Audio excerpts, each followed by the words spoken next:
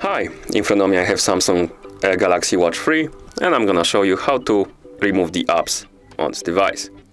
Let's start by opening the Galaxy Wearable app on our phone.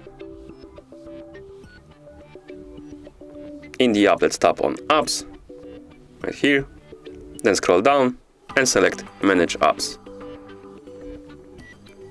Now, we can tap on the app itself, for example, Calculator, and here we have uninstall button. You can tap on it, then tap uninstall.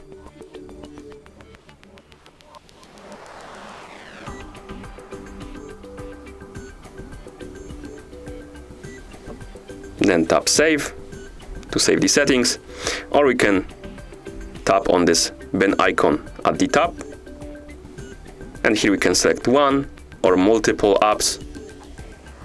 Then tap the uninstall button at the bottom, then tap uninstall to confirm.